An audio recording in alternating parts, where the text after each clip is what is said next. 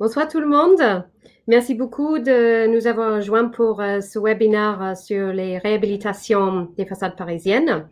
C'est un sujet qui nous intéresse euh, de plus en plus chez IOC Paris et je suis rejoint aujourd'hui par deux de mes collaboratrices brillantes, Stéphanie euh, chef de projet façade et notre référent environnemental, et Faustine Jéromel, ingénieure façade, euh, tout autant passionnée euh, sur euh, les enjeux de la, de, la crise climatique et, et, notre responsabilité de agir dans le monde professionnel autant que personnel pour, pour y répondre.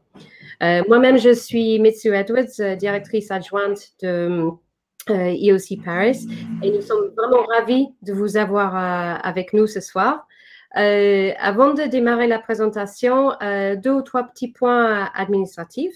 Euh, vous verrez à la droite de votre écran un, un petit zone où vous pouvez, avec un chat, dans lequel vous pouvez euh, nous dire bonjour. N'hésitez pas à le faire, ça nous fait vraiment plaisir. Et euh, comme ça, on, on, sait qu'il y a, il y a du monde qui, qui écoute derrière nos écrans. Euh, il y a aussi un, un onglet questions euh, dans lequel, au fur et à mesure de la présentation, si vous souhaitez euh, poser une question, n'hésitez pas à l'écrire. On va quand même les reprendre à la fin de la présentation. Euh, je réinterviendrai en tant que modérateur pour distribuer entre Stéphanie et Faustine les différentes, les différentes questions qui sont, qui sont parvenues pendant la séance. Un dernier petit point administratif, euh, nous nous connectons tous depuis, euh, euh, depuis nos, Wi-Fi perso.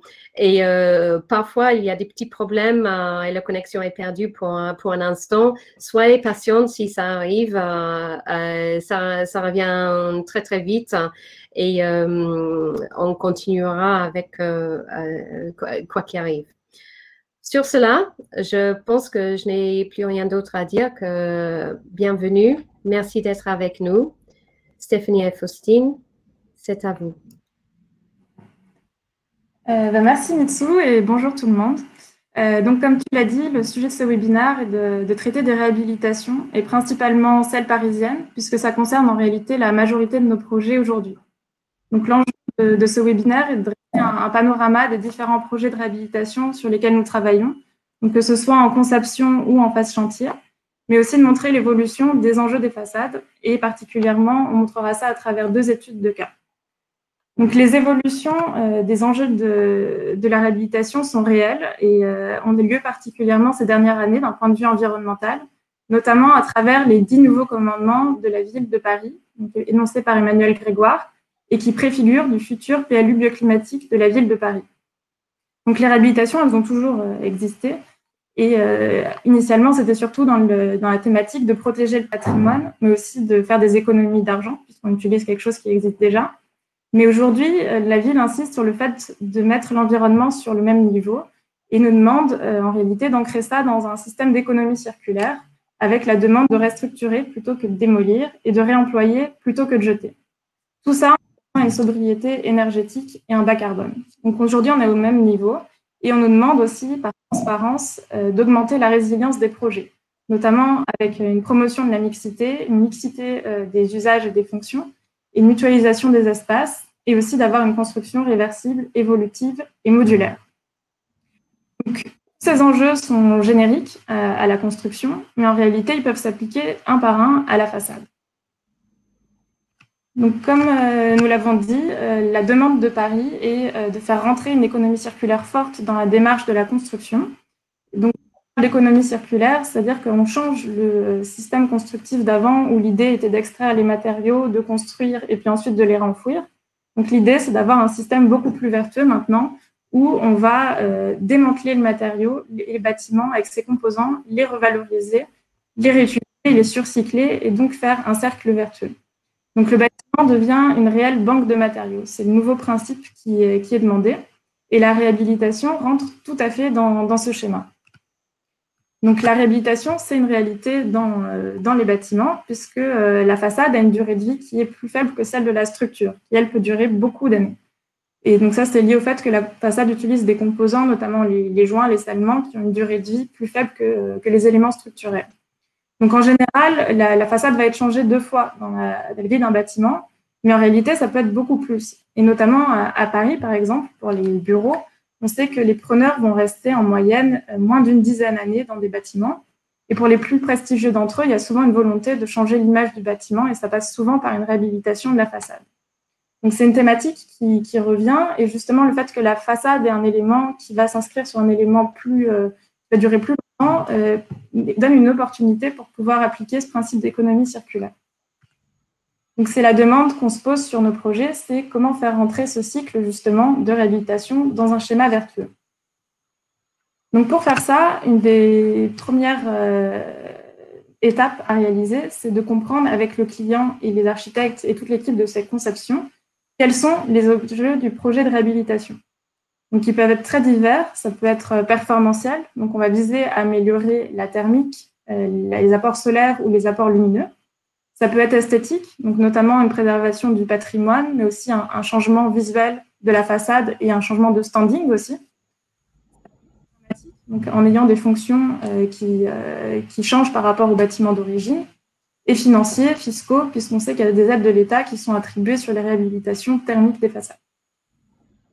Qu'on a compris les enjeux euh, du projet de réhabilitation, en ce qui concerne la façade, une des premières étapes, c'est de réaliser un diagnostic pour réaliser ce diagnostic, il faut déjà comprendre l'état euh, théorique des façades existantes. Donc, on va s'intéresser à la date de construction de la façade et étudier les DOE, c'est-à-dire les plans d'exécution de la façade de l'époque. Donc, cette première étape, ça va nous permettre de situer le projet sur une fiche chronologique où on connaît euh, les inventions technologiques, euh, leurs dates, mais aussi la démocratisation de ces technologies et on connaît également les euh, réglementations thermiques qui ont été mises en vigueur sur ces années-là et donc les garde-fous à respecter. Donc, par exemple, là, si on regarde l'évolution du vitrage, on a une idée en fonction de, l'état, de la date de construction du bâtiment, quelle va être la performance du vitrage auquel on va avoir affaire, sachant qu'il y a eu une nette amélioration ces dernières décennies des vitrages par rapport au début du XXe siècle. Donc une fois qu'on a réalisé ça, euh, la deuxième étape consiste à comprendre quelles sont euh, les pathologies, quel est l'état de vieillissement de la façade. On réalise des, audits sur site, des diagnostics, qui nous permettent euh, déjà de se conforter par rapport aux hypothèses des, plans d'exécution, mais aussi de comprendre l'état de vétusté de la façade avec les pathologies qui peuvent exister, avec en priorité un focus sur la sécurité et ensuite sur l'étanchéité à l'air et à l'eau donc là, on a des petites pompes qui nous permettent de pouvoir tester justement les infiltrations, nous permettent de comprendre la performance énergétique du bâtiment, l'acoustique et aussi l'esthétique. On a différents éléments qui nous permettent de pouvoir faire une synthèse de l'état de dégradation des façades. Une fois qu'on a ces éléments, euh, on peut les combiner en revenant au bureau et faire nos calculs. Et donc, euh, par exemple, modéliser la façade telle qu'elle existe, calculer les performances thermiques de l'époque et aussi à travers les pathologies qu'on a examinées, euh, enfin, essayer de deviner l'évolution justement des performances de la façade. Donc toutes ces études, ça va nous permettre de classer les façades en euh, grosso modo deux macrotypologies, donc en sachant qu'il y a forcément des passerelles entre elles. Mais on a d'un côté les façades qui ont un fort degré de vétusté, qui sont plus anciennes. Donc généralement, on a du simple vitrage, des profilés métalliques sans rupteur de pont thermique, des problèmes d'étanchéité à l'eau, à l'air, et aussi euh, des performances sécuritaires, des fois de, garde-corps, et des matériaux abîmés, donc souvent avec des revitements qui, sont brûlés par les intempéries et le soleil. Des façades qui sont plus récentes, euh, qui sont en bon état, généralement qui ont un double vitrage et des rupteurs thermiques pour les profils, donc une bonne performance euh, thermique, et qui commencent à avoir un certain degré de vieillissement localisé et superficiel. Donc, on va s'intéresser dans un premier temps aux stratégies adoptées pour les façades à fort degré de vétusté. La première stratégie qui est, souvent mise en place quand justement les performances thermiques et de l'étanchéité ne sont pas là, il n'y a pas un réel euh, aspect patrimonial fort associé au projet et quand le projet non plus ne correspond pas à la fonction à laquelle on va venir euh, se greffer, on adopte généralement, toute l'équipe, une stratégie de réhabilitation lourde totale. Donc, euh, pour citer un projet qui rentre dans cette catégorie, c'est le projet Legendre qu'on réalise avec euh, PCA Stream. Donc ça, c'est une boîte qui a été construite dans les années 70 et on peut voir sur euh, rue qu'on avait des bureaux avec finalement peu de surface vitrée, donc peu de luminosité et des commerces peu mis en valeur. donc là, le projet consistait à intégrer une façade d'hôtel sur les étages supérieurs avec des fenêtres habitées donnant beaucoup de luminosité pour les chambres et au rez-de-chaussée un café qui correspondait aussi plus au standing de la rue. Et en façade intérieure, on avait un parking avec une façade euh, très vétuste et qui permettait absolument pas d'intégrer des bureaux. Donc là, la façade a été également entièrement déposée pour avoir une façade de bureau euh, qui permettait une grande flexibilité et qui était totalement vitrée pour euh, justement apporter de la lumière dans cet îlot qui est très assombri. Un autre projet, donc c'est un projet euh, sur les Champs-Élysées avec Franklin Hadzi. Donc là, le, projet consiste à apporter aussi une mixité dans un îlot pour pouvoir attirer euh, les, visiteurs dans, dans le projet pour aller dans les restaurants qu'on peut voir au rez-de-chaussée et au R plus 1. Donc là, la façade datée des années 80, elle commençait à être très vétuste et pas forcément d'un standing qui permettait d'accueillir ces fonctions, et aussi des problématiques d'amiante associées aux constructions de cette époque. Donc l'idée, ça a été vraiment de déposer la façade, de régénérer l'esthétique et les fonctions, et donc d'avoir façade beaucoup plus noble avec aussi des espaces de rooftop en extension. Une autre stratégie qui peut être adoptée pour les, façades anciennes, notamment quand elles ont une forte valeur patrimoniale, c'est une rénovation de façade. Donc là, l'enjeu, c'est plutôt de conserver l'identité du bâtiment et de plutôt de l'appuyer, de le mettre en valeur et de mettre à jour euh, l'aspect réglementaire, mais aussi le confort des utilisateurs. Donc ici, on peut citer le projet Rio, avec lequel euh, on travaille sur euh, DTACC. Et donc là, le projet, comme on peut le voir, n'a pas effectué sur rue un changement de façade, si ce n'est les changements de châssis. Et par contre, ce qui est intéressant, c'est ce qui se passe en, en toiture, puisque l'architecte a conservé justement l'esthétique haussmannienne du bâtiment pour intégrer un élément de grand standing. Donc, on peut voir une verrière courbe qui est intégrée en toiture et qui confère au projet euh, un aspect très luxe pour des, bureaux. Et sur cours, euh, le patrimoine était moins intéressant, mais euh, justement, le projet a permis de le mettre, de le mettre en évidence et de respecter aussi réglementairement les nouvelles normes, notamment avec des façades par flamme et encore une fois de mettre en évidence euh, l'aspect euh, haussmannien avec des brisées qui sont sous forme de verrière avec un haut standing. Et on a également ce projet 48 Grande Armée en chantier avec Franklin Hadzi. Donc là, on peut voir l'image avant-après. L'idée, c'était vraiment de conserver l'esthétique euh, du projet. Et tout l'enjeu était de faire une réhabilitation thermique, d'améliorer les performances en gardant la finesse des profils de menuiserie qui n'est pas évident avec euh, les demandes thermiques qu'on a aujourd'hui et euh, avec toutes les demandes qui, sont relatives également à l'acoustique. Donc là, il y, a, beaucoup de travail à faire pour garder la finesse et on voit que sur le projet aussi, on a une extension en plus qui est accordée par le PLU et qui permet d'améliorer aussi l'esthétique en apportant aussi une légèreté dans le, design. Donc maintenant, on va s'intéresser au projet où au contraire, on a des bâtiments qui sont en relativement bon état, qui sont plus récents et donc à faible degré de vétusté. Euh, une première stratégie qui peut être adoptée, c'est d'avoir une réhabilitation lourde totale, comme on l'a vu tout à l'heure. Donc là, ce n'est pas forcément lié à une nécessité d'améliorer euh, de manière importante la thermique, mais c'est plus pour changer l'esthétique du projet et le standing, qui ne sont pas forcément au goût du jour, et aussi euh, d'améliorer la fonctionnalité, la flexibilité des espaces, d'intégrer plus de ventilation et peut-être de matériaux qui, sont, rentrent plus dans l'air du temps avec euh, un wellness post-Covid. Donc là, on peut citer le projet qui est en chantier Bellefeuille avec des TACC encore. À gauche, le bâtiment d'origine qui est une façade des années 90 en bon état. Mais ce qu'on peut voir, c'est que la, façade était composée d'alcool, ce qui permettait d'avoir des, des bureaux cloisonnés et une esthétique qui était également euh, typique des années 90. Donc le parti pris a été de la déposer et pour intégrer des façades euh, beaucoup plus flexibles pour des open space et avec une esthétique renouvelée. Et sur la cour euh, existante, donc la façade permettait une flexibilité. En revanche, l'esthétique était assez agressive et réfléchissante avec un, verre qui était teinté. Et donc, l'idée, ça a été de finalement revenir à une esthétique beaucoup plus pure et adaptée aussi à l'utilisation d'une cour végétalisée. Euh, une autre stratégie qui peut être décidée, c'est d'avoir une réhabilitation modérée partielle. Donc ça, c'est dans le cas où la façade est relativement en bon état et qu'on veut en changer une partie de l'esthétique, ou plutôt agir sur des éléments euh, qui sont défectueux sur la façade.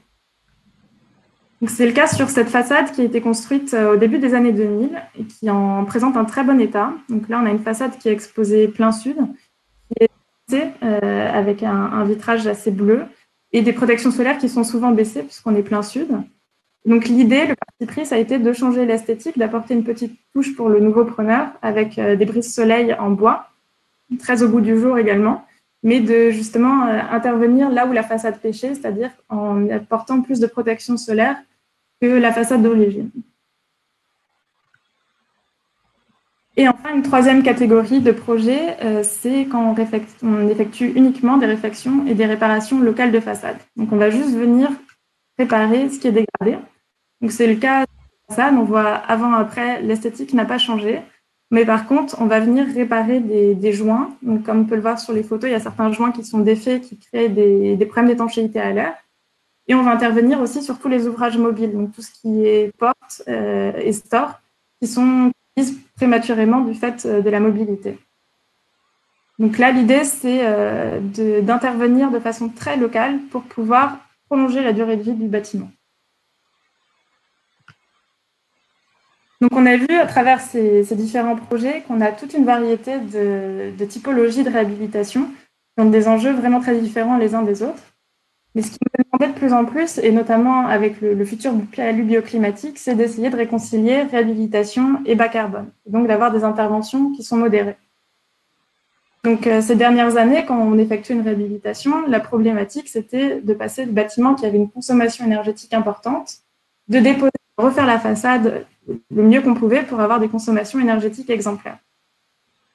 Seulement, ces dernières années, il y a eu une prise de conscience collective, il y a eu les normes plus c'est moins, la préfiguration de la RE 2020, et finalement, maintenant, on ne parle plus uniquement d'énergie, mais on parle de bilan carbone la, balance est beaucoup plus compliquée, puisqu'on sait qu'on peut améliorer les performances euh, thermiques, les consommations. Donc ça, ça va avoir un impact sur le bas carbone opérationnel, donc tout au long de la vie du bâtiment. Mais quand on va effectuer une réhabilitation, on va dépenser énormément de CO2 de bilan carbone qui est encastré dans les matériaux de construction. Un bâtiment pour lesquels 50% des émissions de gaz à effet de serre qui vont avoir lieu sur toute la vie du bâtiment proviennent des construction, donc qui sont lâchés au moment exact de la construction, alors que euh, le bilan carbone opérationnel lié aux consommations énergétiques est sur un laps de temps beaucoup plus long. Donc ça fait finalement se poser beaucoup de questions aujourd'hui quand on a des projets de réhabilitation. Et c'est d'autant plus vrai qu'on commence à avoir beaucoup de réhabilitation qui datent euh, des années, euh, enfin des façades qui datent des années 2000. Et donc le problème, c'est que dans les années 2000, on avait déjà des performances thermiques qui étaient très bonnes. En réalité, aujourd'hui, on fait un peu mieux, mais pas drastiquement mieux. Et donc, quand on va vouloir améliorer les performances d'une façade existante, en réalité, le bilan carbone des matériaux de construction de la façade précédente n'est pas encore rentabilisé. Donc, finalement, on ne va pas venir améliorer euh, l'impact environnemental d'un point de vue carbone de la construction.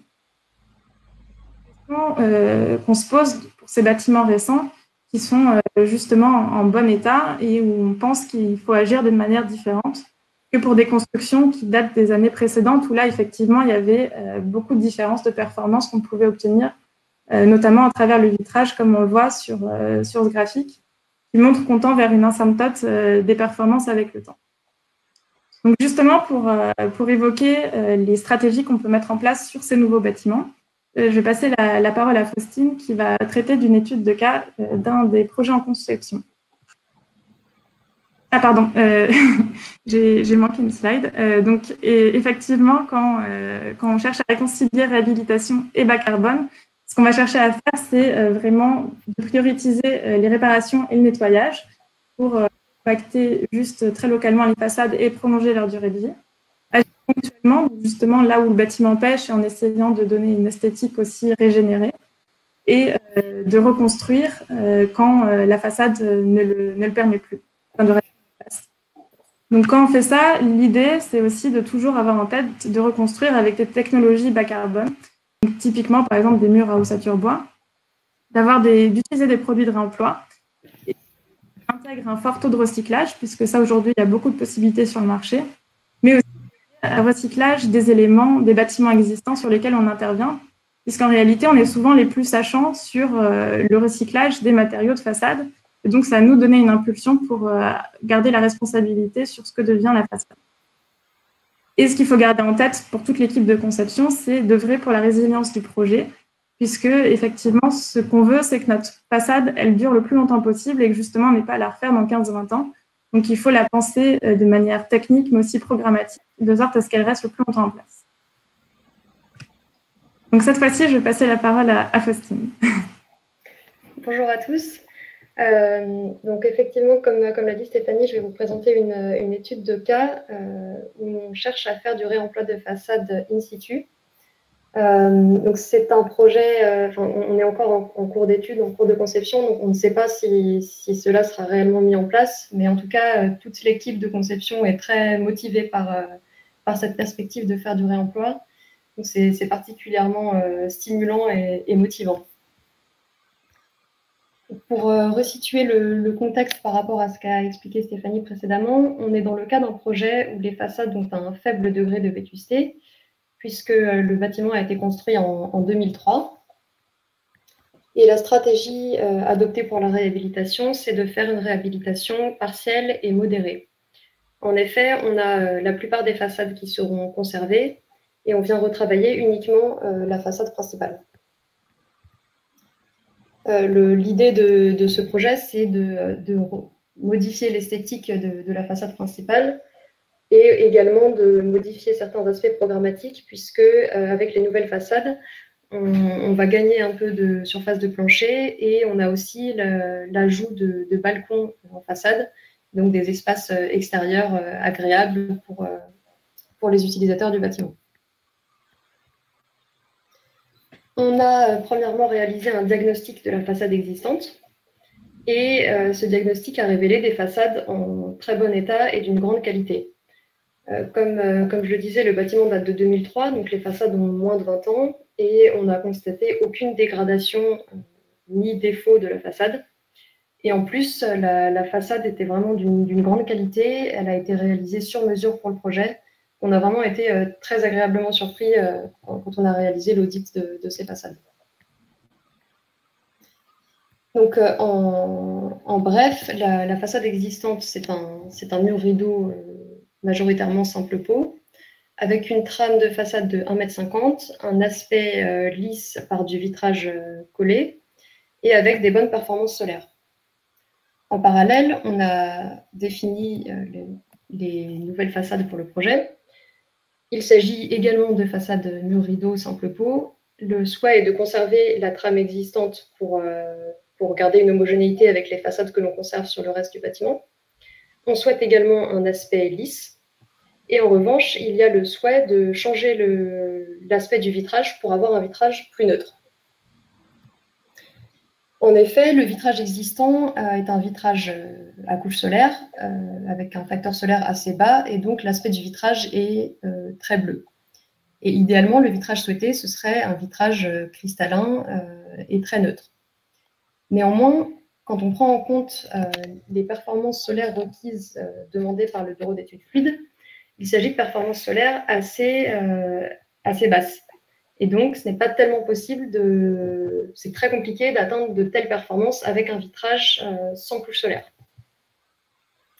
Donc, en pratique, euh, si on souhaite conserver les mêmes performances solaires que l'existant, il est assez probable pour qu'on se retrouve avec un vitrage également teinté. Alors, on est capable de faire des vitrages euh, plus neutres aujourd'hui que ce qu'on faisait il y a 20 ans, mais finalement, en gardant le même niveau de performance, on ne pourra pas changer drastiquement l'aspect du verre. Donc, en reconsidérant les caractéristiques de la façade existante et les caractéristiques de la façade du projet, on a commencé à se demander si ce ne serait pas pertinent d'envisager de réemployer les façades déposées sur le projet. Le schéma serait le suivant. Il y a une partie des façades existantes que l'on ne réutilise pas euh, car c'est une partie en double pot. Et en revanche, il y a toute une partie que l'on dépose pour réemployer sur le projet. Donc à partir de là, on a étudié différents niveaux d'intervention. Le premier niveau, c'est le réemploi total, où l'on conserve à la fois les menuiseries en aluminium et le vitrage. Le second niveau, c'est du réemploi partiel, où l'on garde la menuiserie mais où l'on change le vitrage. Et enfin, le troisième niveau, c'est un remplacement total euh, de la façade, donc menuiserie et vitrage neuf. Et on a évalué ces différents niveaux d'intervention selon plusieurs critères qui sont l'aspect visuel, la faisabilité technique, les performances, l'impact carbone et l'impact économique. Euh, pour commencer avec l'aspect visuel, j'en ai déjà un petit peu parlé. Euh, si on fait du réemploi total, on garde donc l'aspect existant avec notre vitrage bleu. Si on fait un réemploi partiel et qu'on change de vitrage, on aura un vitrage certainement teinté également, mais avec la possibilité de, choisir quand même l'aspect du nouveau vitrage. Et si l'on remplace totalement la façade, le discours reste le même pour le vitrage. Et en revanche, ce qui est intéressant, c'est que quand on s'intéresse aux profilés de menuiserie, euh, en fait, les, profilés existants euh, ont été extrudés sur mesure, car euh, à l'époque, on avait 15 mm de façade et on avait donc la, possibilité de faire un profilé sur mesure. Il y avait largement assez de quantité pour que ce soit intéressant. Là, si on remplace uniquement des profilés sur une petite portion de façade, ce n'est pas intéressant de faire des profilés sur mesure et on va donc utiliser des profilés du commerce qui ne sont pas optimisés et qui sont en réalité plus encombrants que les profilés existants. Donc, du point de vue euh, du profilé et donc depuis l'intérieur du bâtiment, le réemploi marque des points euh, sur l'aspect. Ensuite, il y a évidemment la question de la faisabilité technique. Alors, il y a beaucoup de critères euh, à analyser. J'en ai, choisi quelques-uns. Le premier, c'est la démontabilité il faut s'assurer qu'on peut démonter la façade sans, sans l'abîmer, sans la détériorer. Donc, quand on regarde la technologie de façade qui, est utilisée, c'est euh, un mur rideau euh, cadre avec, euh, dont les blocs sont constitués d'un cadre principal en aluminium, d'un cadre secondaire en aluminium, et le vitrage est collé sur le cadre secondaire. Si, si l'on veut démonter cette façade, la méthodologie employée sera similaire à la, méthodologie pour remplacer un vitrage. On démonte le cadre secondaire et ensuite, dans un second temps, on pourra démonter le cadre principal. Il y a quand même euh, certaines questions qui se posent, euh, notamment sur la, pérennité des matériaux les plus fragiles de, cette façade, à savoir les joints et euh, les collages. Donc on envisage de remplacer les, joints après le démontage de la façade. Ensuite, il y a aussi les questions de la quantité de matériaux que l'on pourrait employer et de leur, euh, compatibilité et l'homogénéité de la façade. En effet, quand on regarde de plus près les éléments que l'on envisage de réemployer, on se rend compte qu'il y a euh, finalement des disparités au sein de la façade. On a quatre types de modules qui sont de dimensions, largeur et hauteur légèrement différentes. Et on a également des portions de façade que l'on n'est pas en mesure de réemployer, euh, notamment les angles, parce qu'il s'agit de modules atypiques. Donc, quand on va euh, réemployer ces éléments sur le projet, il faut bien se poser la question de comment on les agence, dans quelle mesure ça impacte euh, l'esthétique et bien vérifier les compatibilités également techniques entre les différents modules. Ensuite, il y a évidemment la question des performances. Donc, dans un premier temps, euh, si on considère un scénario de réemploi total, la performance thermique sera la même que les performances de l'existant. Donc, euh, la façade a en réalité des bonnes performances thermiques. Le, vitrage est un double vitrage avec lame d'argon et couche basse émissivité. Et les profilés sont des profilés à hauteur de pont thermique. Donc, on a une performance de vitrage de 1.1 et une performance globale de façade de environ 2,3.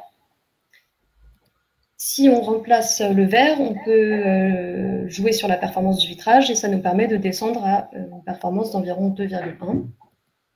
Et enfin, si on remplace totalement la façade, on peut espérer arriver aux alentours de 1,5. Euh, maintenant, on a, envisagé de, proposer des améliorations de la thermique de l'existant. Donc pour ça, dans un premier temps, on propose de renforcer l'isolation en rive de dalle afin de réduire le pont thermique à chaque étage et ça nous permet d'arriver à une performance d'environ 2,1. Ce qui est assez intéressant, c'est qu'on peut voir que juste en mettant en œuvre de l'isolation en, rive de dalle, ce qui est très facile à mettre en œuvre, on arrive à atteindre quasiment la même performance que si on remplaçait le vitrage. Dans un second temps, on propose d'améliorer la thermique du cadre en venant boucher euh, le joint entre les vitrages par, euh, par une mousse isolante. C'est un peu théorique, on n'est pas sûr de pouvoir le mettre en œuvre concrètement, mais si on arrivait à faire ça, on pourrait encore réduire les déperditions et là, on deviendrait plus performant que le scénario 2 où on change le vitrage. Donc ensuite, on a fait le même exercice pour euh, le, scénario 2 où on change le vitrage et où on met en œuvre ces différentes améliorations. Donc au final, si on compare, euh, toutes ces performances avec la performance d'une façade neuve, on se rend compte qu'en mettant en œuvre toutes les améliorations euh, possibles, on se rapproche très fortement des performances d'une façade neuve.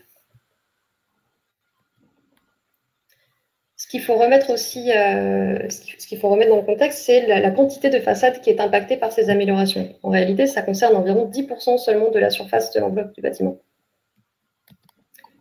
Donc, si on regarde à l'échelle du bâtiment, euh, dans le scénario où on réemploie euh, la totalité des éléments de façade, on va avoir toutes nos façades qui ont une performance de 2,3. Si on remplace totalement la partie retravaillée, on aura 90% de la surface de façade qui sera à 2,3 et 10% qui sera à 1,5. Donc un, bref calcul de déperdition euh, thermique nous montre qu'on aura un, delta de déperdition d'environ 4% entre les deux scénarios. Donc euh, la pertinence de venir améliorer la performance thermique de la, de la portion retravaillée est, assez, euh, est assez remise en doute. Ensuite, on s'est intéressé à l'impact carbone. Donc, pour ça, on a considéré les matériaux de construction et le transport. En termes, euh, donc, si on regarde le réemploi total, on a d'abord euh, un premier scénario où on dépose les éléments et on les stocke sur site pour les reposer euh, directement. Donc, c'est le scénario le plus vertueux car on n'a quasiment pas de matériaux neufs mis en œuvre. On a uniquement les, joints que l'on remplace et les, les renforts d'isolation, comme j'en ai parlé tout à l'heure et on n'a pas de transport euh, dans ce scénario. Un deuxième scénario, c'est de déposer les cadres de façade, de les renvoyer en atelier, de les reconditionner et de les rapporter sur site. Donc là, on est euh, un peu euh, plus mauvais parce qu'on a le transport entre le site et, l'atelier. Ensuite, dans le scénario de réemploi partiel, là, on est évidemment obligé de, tout renvoyer en atelier pour procéder au démontage du verre et, à la pose du nouveau vitrage. Donc euh, là, on a forcément un impact carbone de transport et on a également l'impact carbone du vitrage neuf mis en œuvre. Et enfin, dans le scénario du remplacement total, euh, là, on procède à un calcul classique de, façade neuve. Donc, euh, on a le, coût des matériaux de construction et le transport. Donc, si on regarde sur un même graphique tous ces, ces différents impacts, euh, on se rend compte qu'il y a une très grande différence évidemment entre le réemploi total et le, remplacement total de la façade. On a environ un facteur 10. Et le, scénario 2 de réemploi partiel est assez mauvais en termes de carbone, puisque euh, dans un mur rideau, le verre compte pour, euh, beaucoup dans l'impact carbone de construction. Donc maintenant, si, on, si, on, résume la situation, en termes de performance, entre les trois scénarios, on va avoir un delta de, déperdition thermique de la façade de euh, au maximum 4%. En revanche, si on met le bilan carbone sur le même graphique, on se rend compte qu'il y a un énorme écart entre ces trois scénarios. Et là, en plus, je parle, seulement des déperditions thermiques au travers de la façade, je ne parle même pas des consommations du bâtiment. Donc, euh, ça, montre que pour ce type de, projet, euh, vouloir changer la façade dans le but d'améliorer les performances n'est pas, euh, vraiment pertinent en termes de, coût carbone. Le coût carbone de construction sera euh, très très très important par rapport aux, bénéfices de carbone opérationnel que ça peut apporter. Donc si l'on choisit de changer la façade sur un, un projet comme celui-là, il faut savoir que ce ne sera pas pour des raisons de performance, ce sera pour d'autres raisons. Et enfin, on peut se poser une dernière question, c'est que si aujourd'hui on choisit euh, l'option de remplacement total de la façade, qu'est-ce qui va se passer euh, dans 20 ans? Dans 20 ans, on aura 90% des façades du bâtiment qui dateront de 2003 et une toute petite portion qui datera de 2022. Donc, ce qui va se passer, c'est que quand il faudra changer les façades de 2003 qui seront devenues obsolètes, il y a de grandes chances pour qu'on choisisse de changer l'intégralité de la façade du bâtiment. Et on aura donc un remplacement prématuré de ces façades qui auront été installées dans quelques années on aura un vieillissement différencié des différentes portions de façade, ce qui n'est pas forcément euh, le plus stratégique. Donc sur ce, je repasse euh, la parole à Stéphanie qui va nous présenter un, euh, autre type de projet, un autre type de réemploi. oui, donc là, on va parler de l'étude de cas numéro 2. Donc, c'est une réhabilitation, cette fois-ci, qui est plus centrée sur l'aspect patrimonial. Donc, si on regarde la façade, c'est une façade qui date des années 60. Et si on regarde euh, dans les des photos, en réalité, elle présente des particularités techniques assez exceptionnelles. Puisqu'on peut voir, il y a des pièces euh, moulées en aluminium qui supportent euh, les caillebotis. On a des pièces, on appelle les joues en aluminium, qui sont courbées avec des formes vraiment très fines et, très affermies. On a également des tôles en, acier qui s'occupent de l'étanchéité des, façades. Et donc, on a, vraiment une démonstration du savoir-faire de l'époque, puisque c'est assez remarquable pour les années 60. Donc, euh, c'est un projet, on peut voir, euh, qui présente un certain état de vétusté, puisque la façade date des années 60, donc c'est déjà incroyable qu'elle soit en si bon état finalement aujourd'hui. Mais euh, il y a une dégradation, dégradation visuelle des éléments et puis une nécessité absolue de refaire la thermique et l'étanchéité à l'air et à l'eau. Donc là, on a travaillé en phase concours avec l'équipe de conception et les architectes. Et donc, on a étudié les, éléments de construction de l'époque qui, qui, ont fait que renforcer la, valeur patrimoniale constructive de l'époque, puisqu'on a une façade aussi qui est préfabriquée, donc très avant-gardiste euh, pour l'époque. Et donc, euh, ce qui était demandé pour le concours, c'était de préserver l'identité de la façade, mais euh, c'est vrai qu'on avait tendance à vouloir la refaire à l'identique, puisque c'était une façade de très grande valeur. Donc, euh, dans un premier temps, on est parti, enfin, le parti pris était de la refaire à l'identique. On s'est posé la question, justement, euh, dans quelle mesure on pouvait euh, réaliser ça. Et donc, plus on, plus on regardait les détails, plus on s'est rendu compte que finalement, ça posait des difficultés, puisqu'il y avait des, une technicité vraiment très importante qui avait été mise en place à l'époque sur ce projet. Et aujourd'hui, c'est possible, mais avec des coûts vraiment associés importants. Et donc, un risque qu'à terme, le projet soit simplifié pour rentrer dans l'enveloppe budgétaire du client. Et donc, finalement, on dégraderait euh, l'esthétique et l'intérêt technologique du projet. Et en même temps, on a réalisé des visites sur site qui nous ont permis de, constater que la façade était certes euh, en état de vieillissement, donc on, voyait les surfaces comme, sur la photo qui présentent des, dégradations, mais en réalité, on s'est rendu compte que finalement, c'était localisé et superficiel.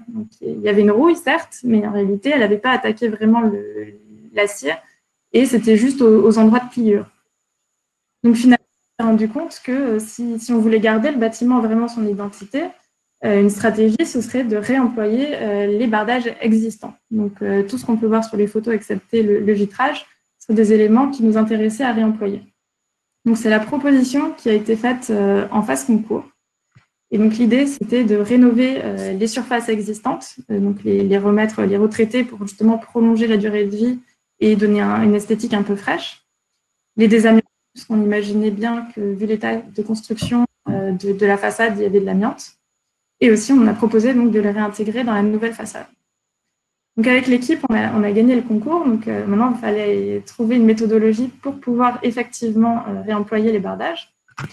Donc, on a développé toute une méthodologie pendant les études pour pouvoir conforter nos, idées là-dessus. Donc, on a, on a continué à, étudier plus en détail les DOE pour comprendre vraiment la fixation des éléments les uns aux autres. On a réalisé des audits sur site, des industriels aussi pour vérifier la, faisabilité de remise en état des, surfaces. Il y a eu l'amiante qui nous a rassurés, puisqu'en réalité, on avait de l'amiante que dans les, entre les joints préfabriqués, donc relativement limité. Et on a eu la chance de pouvoir, en conception, déposer euh, des modules sur site, comme on peut voir, qui ont permis de conforter les hypothèses qu'on avait prises en regardant euh, les, les plans d'exécution de l'époque, et aussi de vérifier finalement, les, bâtiments, enfin, les, composants étaient vraiment comme un kit et facilement démontables les uns par rapport aux autres. Euh, plusieurs fois avec le, bureau de contrôle aussi pour euh, étudier cette euh, faisabilité. Et petit à petit, on s'est rendu compte qu'il y avait une réelle faisabilité et une réelle pertinence aussi du réemploi des éléments de bardage. Et donc à travers ça, on a, essayé d'anticiper aussi la méthodologie de, travaux parce que on n'est pas sur un projet ordinaire. Et donc, la, première étape, c'est de s'assurer d'avoir une dépose réellement soignée des éléments de, construction de l'époque, parce qu'il va falloir limiter au minimum euh, les, éventuels casses et, dommages sur site. Et ensuite, euh, organiser le désassemblage et le désamiançage sur site pour envoyer euh, ensuite aux différents endroits les éléments à remettre en état. Ensuite, il y a donc un, transport en atelier et de nouveau le transport de l'atelier sur le chantier pour reposer ces éléments sur la nouvelle façade. Donc, on a étudié ça en amont avec les industriels, puisque vu qu'on n'a pas une séquence euh, standard traditionnelle de dépose de la façade, il a fallu anticiper ça aussi avec euh, des personnes qui étaient euh, très techniques sur ce point-là. Donc, un grand enjeu, c'est comment est-ce qu'on réussit à réintégrer ces éléments de réemploi dans une nouvelle façade? Donc, on sait qu'il y a d'énormes difficultés vis-à-vis des garanties des décennales du clos couvert. Et donc, on, s'est heurté de, de, à, ces difficultés. Euh, et, finalement, à travers les différents échanges avec le bureau de contrôle et les fabricants, on a décidé finalement de requalifier les éléments de bardage en tant que bardage décoratif, donc qui n'assure pas l'étanchéité clos couvert et qui ne fait pas partie de la garantie décennale. Puisque en réalité, euh, il est très difficile de justifier que les bardages assurent une potentielle étanchéité puisqu'ils ne peuvent pas être garantis par un fabricant. Donc une première solution qu'on a mis en place, c'est un système de, murs rideaux en aluminium avec des éléments de remplissage qui permettent euh, de fixer les vitrages et aussi d'intégrer les éléments de remplissage et de réemploi. Et donc les éléments de réemploi qui sont posés sur cette, euh, ce mur euh, rideau nécessitent une ATEX parce qu'il faut tester les, fixations qui ne sont pas standards. On a ici développé une autre une autre façade. Donc cette fois-ci, une façade à ossature bois, comme on peut le voir sur, euh, sur les dessins. Donc ça, ça présentait comme intérêt d'être euh, de base une façade qui est bas carbone. Donc on trouvait ça très pertinent, euh, en faisant du réemploi, en économisant sur le carbone du bardage, d'aller économiser aussi sur la façade qui est derrière, qui est thermique et assure l'étanchéité. Et donc on s'est intéressé aux façades à ossature bois, qui permettent aussi de respecter la philosophie de l'époque de la préfabrication, mais sur des modules encore plus grands. Donc, euh, on trouvait cette solution très, très intéressante et c'est vers celle-là euh, qu'on s'est dirigé ensemble avec euh, types de conception pour le moment, avec toujours une ATEX à la clé pour la, fixation des éléments de réemploi. Donc, on est toujours en étape de, conception, mais c'est vrai que petit à petit, il y a eu beaucoup de difficultés qui sont apparues sur, ben, comme on le disait, la fixation des éléments de réemploi sur les nouvelles façades. Et donc, à plusieurs moments, on s'est interrogé sur la pertinence euh, de réutiliser les bardages et surtout de les, réutiliser comme finalement éléments décoratifs. Et donc, on, s'est posé la question, est-ce qu'on gagne finalement euh, vraiment sur le bilan carbone? Donc, on a, mené des études assez poussées sur ce sujet-là pour justement se, convaincre et convaincre euh, les différents acteurs sur, sur le réemploi. Et donc, le premier scénario qu'on a voulu comparer, c'est le scénario de base, donc avec une, refait, une surfaçade pardon, refaite à neuf sans aucun réemploi. Un deuxième scénario avec une façade refaite à neuf, mais en gardant uniquement les brises-soleil, donc ce qu'on voyait en aluminium, les caillebotis et les joues. Et un troisième scénario où on réemploie l'aluminium, mais aussi l'acier qui servait avant d'étanchéité. Et on a conservé, on a comparé ça avec un système mur rideau aluminium et un système de mur à ossature bois. Donc, euh, on est passé d'une façade qui est de plus en plus vertueuse en, termes de, bas carbone et un réemploi de plus en plus grand. Ça a été un peu fastidieux de, justement chiffrer le bilan carbone sur euh, ces matériaux, puisqu'il a fallu aller beaucoup plus loin que les fiches euh, de la base IGNIAS et essayer de comprendre finalement le nettoyage et le retraitement des, euh, éléments de bardage, quel était le, coût carbone lié à ça. Et une étape importante aussi, c'est de comprendre le transport, puisque c'est une étape qui s'ajoute par rapport à, des matériaux de nouvelle construction. On a essayé de comprendre combien de tôles on pourrait mettre dans un camion et donc associer un coût carbone le, coût de transport pour chaque élément. Et donc, ça nous a permis pour euh, l'acier, pour l'aluminium, d'avoir euh, une comparaison des coûts carbone de la production et du réemploi. Donc, on voit qu'il y, a forcément une diminution qui est assez drastique entre les deux. Ce qui est intéressant, c'est qu'en réemploi, finalement, c'est le transport qui, a la plus grande part de, bilan carbone sur euh, cette technologie, alors qu'en production, c'est une part qui est finalement assez négligeable. C'est vraiment la production et l'extraction des matériaux qui va être la plus pénalisante. Donc, on a réussi à, pouvoir comparer euh, ces éléments pour chaque, chaque constituant de, bardage et donc savoir combien on allait économiser.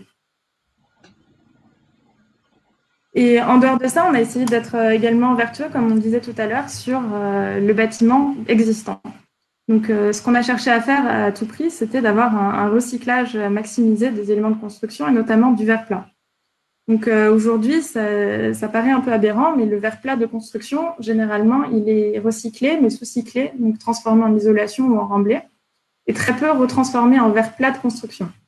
Donc là, on s'est rapproché euh, des industriels pour pouvoir euh, avoir une dépose soignée du vitrage et pouvoir le ramener dans des, fours de flotte de production de verre plat, et donc économiser du bilan carbone et de la matière aussi.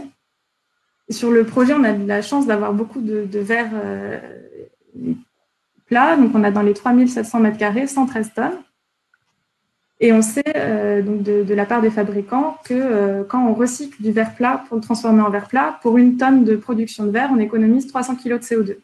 Parce que ça demande beaucoup moins d'énergie de refaire un verre à partir de verre qu'à partir de sable. On économise 34 tonnes de CO2 euh, rien qu'en recyclant le vitrage. Et si on compare par rapport euh, au nouveau vitrage qu'on va mettre en place, qui là n'est plus du simple vitrage, mais du double vitrage avec euh, du feuilleté, de l'acoustique, etc., on arrive à couvrir 16% du CO2 de sa production. Donc certes, c'est pas, ça couvre pas une part énorme, mais ça fait quand même une différence.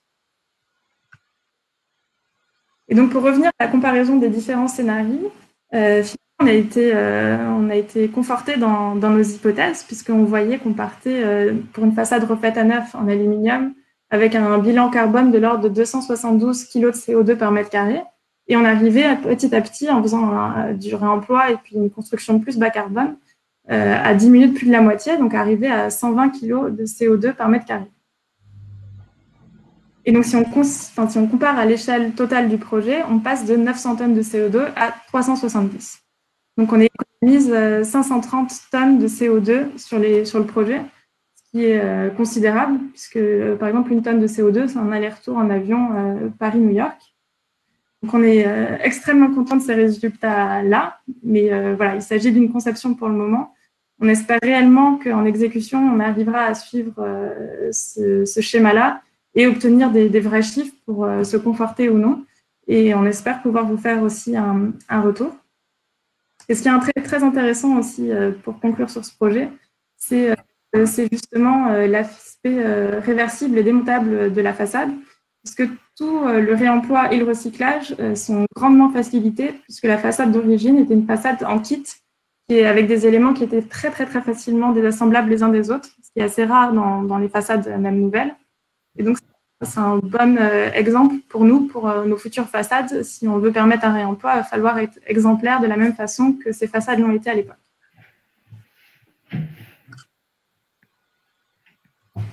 Donc, euh, pour conclure sur ce webinaire, on a pu voir au travers des différentes études de cas que certains projets se prêtent particulièrement bien au réemploi et aux solutions bas carbone. Euh, finalement, il y, a, quelques années ou quelques temps, euh, quand on parlait de réemploi en façade, euh, on disait c'est bien gentil sur le papier, mais c'est trop compliqué à mettre en avant. Et en fait, quand on se penche vraiment dans le détail du projet, on se rend compte que sur certains projets, ça n'a pas l'air impossible du tout, et c'est même particulièrement pertinent. et en fait, notamment avec les projets qu'on a de plus en plus qui concernent des bâtiments qui ne sont pas vétustes et qui ont des bonnes performances. Euh, il faut vraiment voir ces projets comme des, opportunités pour euh, expérimenter ce genre de solutions euh, et, aussi remettre en cause nos, pratiques traditionnelles de, conception. Donc, réhabiliter bas carbone, on peut le faire. Et je dirais même qu'on doit le faire. Parce que si, en fait, si on fait une comparaison avec les performances, avec les performances thermiques, on a commencé à améliorer vraiment les performances thermiques des bâtiments quand, un, l'énergie est devenue chère et deux, quand euh, il y a des normes contraignantes telles que la RT qui ont été mises en place pour euh, avoir des garde-fous euh, et des performances minimales. Aujourd'hui, en termes de carbone, on n'a pas encore la RE 2020, donc on, l'attend avec impatience, et on n'a pas tellement d'incitation financière non plus, puisqu'on n'a pas de taxe carbone.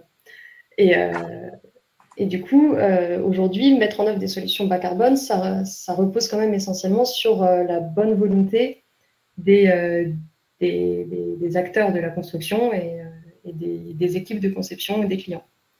Donc, on a, on a une responsabilité euh, collective en tant qu'acteur de la construction dans le fait de mettre en œuvre des solutions bas carbone. Et à la fois, c'est une responsabilité, mais euh, c'est aussi une chance. On a la, chance de pouvoir euh, agir concrètement sur, sur les problématiques environnementales. Merci.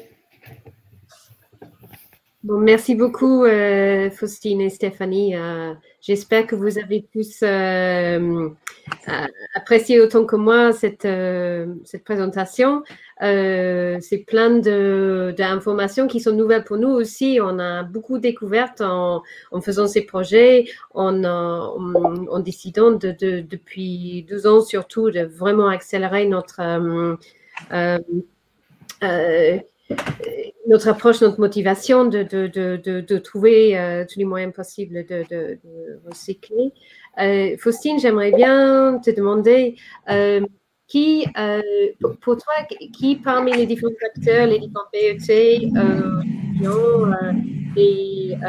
les, fournisseurs, les, industriels, qui sont les plus motivés pour, prendre en charge une approche de réemploi maintenant?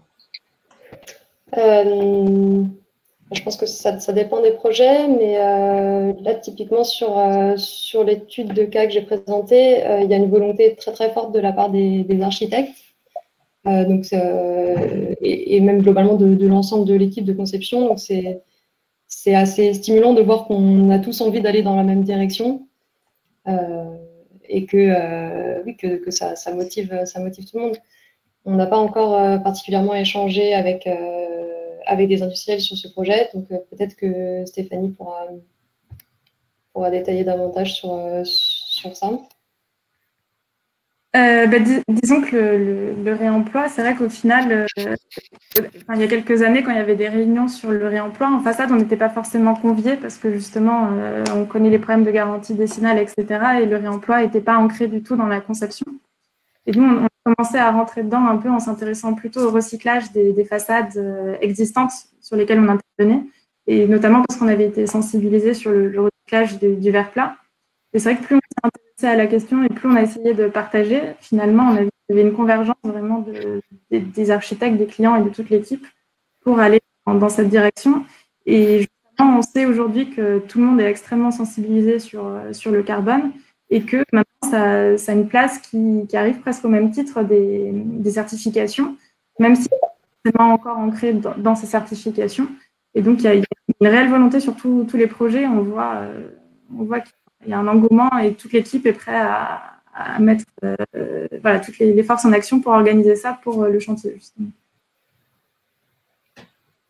Merci beaucoup. effectivement, beaucoup de matière à penser. Hein. Moi, je suis particulièrement impressionnée par euh, le changement d'attitude, l'évolution des attitudes chez les clients euh, pour, euh, pour le réemploi. parce que ça représente quand même un, risque, parce qu'on part dans l'inconnu, il y a souvent une demande d'ATEX pour sécuriser le, dossier, et néanmoins, il y a une vraie envie de surmonter ces obstacles pour arriver, pour arriver à nos objectifs, et souvent on peut le faire isocoup.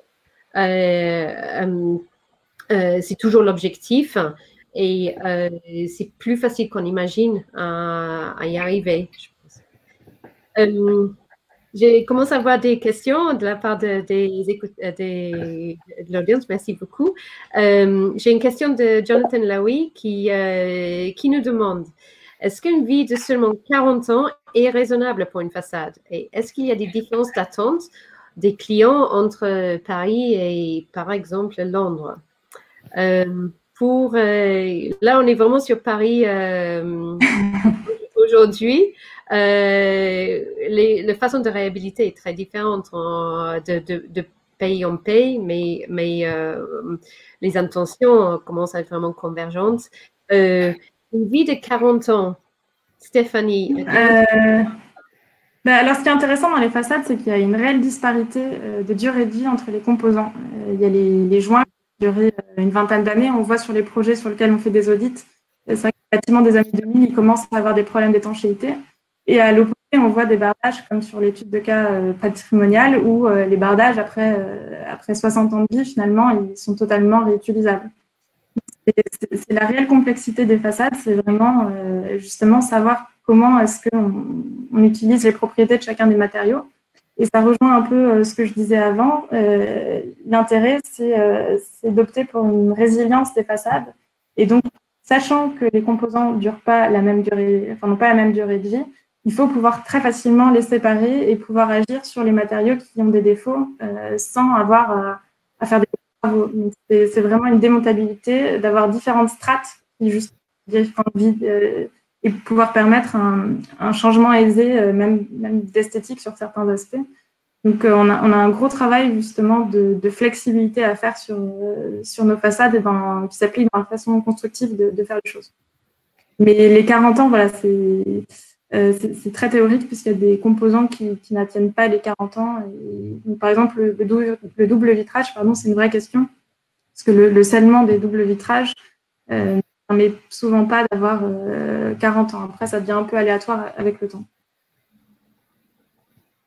Oui, e-, effectivement. Euh, mais une, euh, une intervention par petites touches, après un vrai diagnostic exhaustif, d'identifier là où c'est pertinent d'agir et, là où, euh, un, remplacement serait de trop, euh, nous pensons que, c'est plutôt ça euh, l'avenir des, façades. Parce que quelques composantes, dans l'ensemble, oui, 30-40 ans, c'est encore la réalité, mais composante par composante, on peut différencier ceux qui ont vraiment une vie vie plus longue à conserver. Et la deuxième étude des cas, on est un bel exemple. Elle a déjà 60 ans et on le restaure pour avoir encore 60 ans de, vie. Euh, peut-être une dernière question avant de terminer. Euh, euh, Faustine et Stéphanie, vous avez passé pas mal de temps à évaluer le bilan carbone de ces éléments de réemploi. Est-ce que c'est plus difficile de trouver les data euh, pour les éléments euh, en réemploi euh, par rapport à les data banks qui existent pour les produits neufs? Comment approcher les problématiques? Ben, je peux commencer pour la partie bardage et Faustine prendra le relais sur, sur les façades vitrées. Effectivement, on s'est posé énormément de, questions et bon, les chiffres qu'on a mis ici, c'est une interprétation de notre part puisqu'on n'a pas de, de, réel retour. Mais on a réussi, enfin, l'idée c'était vraiment de partir euh, en dehors de la base Ignace qui est très générique et parle du système en entier et d'essayer plutôt d'aller piocher dans, les fiches EPD peut-être européennes et de décortiquer un peu les différentes étapes, euh, notamment de galvanisation, de nettoyage, essayer de, comprendre aussi les processus de fabrication par rapport à un processus de réemploi. Donc on est vraiment entré dans le détail. Euh, et, voilà, c'est très compliqué, c'est beaucoup de temps. Et après, il y a la partie transport où là, par contre, on peut s'appuyer sur des choses existantes, que ce soit euh, sur les fichiers FDES ou sur des méthodes de calcul de, transport. Euh, mais ça demande un, investissement de, temps et de recherche, puisqu'effectivement, ce n'est pas des données, accessibles. Donc, voilà, il y a, eu des grosses recherches et on espère qu'on pourra, si le projet se fait effectivement de cette façon-là, on espère réellement pouvoir avoir un retour quantifié de la part des industriels euh, quand, euh, quand, ces étapes seront effectuées. Et là, peut-être un shout-out pour notre euh, ingénieur stagiaire qui nous a beaucoup aidé avec la recherche sur la deuxième étude des cas. Charles, merci beaucoup, Charles Chevalier, pour l'intervention sur le, sur le projet. Faustine, tu vas aller en rajouter pour ce qui concerne le oui, du coup, pour, euh, pour les façades vitrées, euh, en fait, quand on, quand on doit comptabiliser les éléments de réemploi, euh, la méthodologie classique, c'est qu'un élément réemployé compte pour zéro en termes d'impact carbone de, de, matériaux de construction. ensuite, donc c'est ce qu'on a, ce a, appliqué comme méthode. Et après, il y a quand même un coût carbone dû aux quelques éléments qu'on vient remplacer. Donc typiquement, j'ai parlé des joints que l'on voulait remplacer. Donc là, euh, c'est sûr qu'on doit sortir du cadre des fiches FDES parce qu'on n'a pas de fiche FDES qui décrit juste un joint EPDM. Donc là, on doit utiliser des fiches ED, on va, creuser un petit peu plus dans, les données pour pouvoir extraire juste l'impact de ce matériau précis. Et ensuite, ensuite, on a aussi un coût carbone associé à la réfection de la façade, au nettoyage. Alors ça, au final, c'est vraiment, vraiment négligeable par rapport aux matériaux mis en œuvre et, au transport. Donc, normalement, c'est quelque chose qu'on peut, peut, ne pas prendre en compte. Et ensuite, le transport, bah, comme l'a, comme dit Stéphanie, on, s'appuie soit sur les fiches FDES ou soit même sur, sur des méthodes décrites par, par l'ADEME, euh, ce qui permet de, d'avoir un ordre de grandeur. Après, c'est sûr que c'est toujours. Euh, c'est, des chiffres, c'est des ordres de grandeur, c'est pas, pas des, résultats précis et garantis. Notamment le transport, euh, on fait des hypothèses sur le nombre d'allers-retours de, camions qu'on va faire, la, distance avec l'usine. C'est vraiment des ordres de grandeur pour indiquer les tendances. Merci, merci. C'est effectivement complexe et euh, vous avez fait énormément de recherches pour euh, nous, faire venir à ce point-là. Donc, euh, c'est un sujet, un sujet de travail continu, c'est sûr. Nous avons une dernière question euh, de David Koussavi qui dit Ne pensez-vous pas que le développement accéléré euh, du, du, réemploi passe par des incitations financières gouvernementales sur l'impact carbone? Bien sûr que oui. Le premier diapo de cette présentation, c'était euh, les dix nouveaux commandements de la ville de Paris et le rigueur des exigences appliquées par la ville de Paris ces derniers temps ont énormément fait évoluer la façon de penser non seulement des architectes, des bureaux d'études, mais aussi des clients et aussi le public en général. Et euh, les, incitations financières et euh, euh, législatives sont indispensables pour, donner le coup de pouce d'accélérateur hein, dans, dans, dans, cette initiative. Après, ça trouve sa propre momentum. Donc, euh, merci beaucoup pour cette question. oui, et ce qui est intéressant, c'est qu'il y a déjà une, espèce d'incitation administrative, puisque pour tous les nouveaux projets, euh, on sait que même si le PLU n'est pas déjà en place, en réalité, il faut déjà l'appliquer. Et donc, si, si, un projet veut s'assurer euh, d'avoir le permis de construire, en réalité, plus il va montrer justement d'impact carbone diminué sur le projet avec des, éléments vertueux, ou des éléments de réemploi, il y aura beaucoup plus de chances aussi qu'il y ait un permis de construire qui soit positif. Donc ça, on le voit vraiment sur nos nouveaux projets où euh, c'est vraiment une incitation, bah, pas financière, mais en tout cas euh, pour pouvoir faire le projet. Donc euh, là, on voit déjà qu'il y, a un grand changement en réalité. Tout à fait. Merci beaucoup. merci à tout le monde pour nous avoir accompagnés pour, pour ce webinaire. Merci à Faustine, merci à Stéphanie euh, pour tout votre euh, travail de préparation. Je pense que vous êtes tous d'accord avec moi que c'est vraiment un sujet fascinant et une présentation euh, vraiment passionnante sur, sur ce sujet. je sais que c'est un long week-end qui commence pour, pour les Français. Je vous souhaite tous un très bon week-end de l'Ascension. Bonne soirée et merci d'avoir été avec nous. Bonne soirée. Merci, bonne soirée. Merci beaucoup. Bonne soirée.